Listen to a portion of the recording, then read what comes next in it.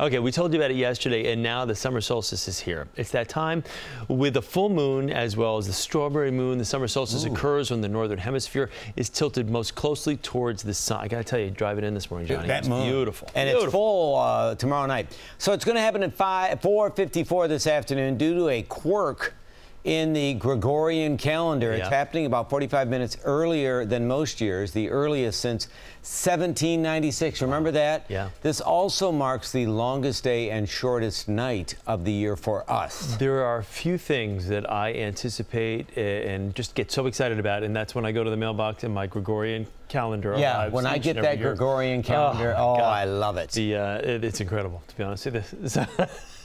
June's my favorite month. Yeah. uh, at the same time, the southern hemisphere experiencing its winter solstice, the shortest day of the year. So you know we kind of flip that thing. See how that works? Yeah, yeah. yeah. Let's go to Argentina. little Australian trip.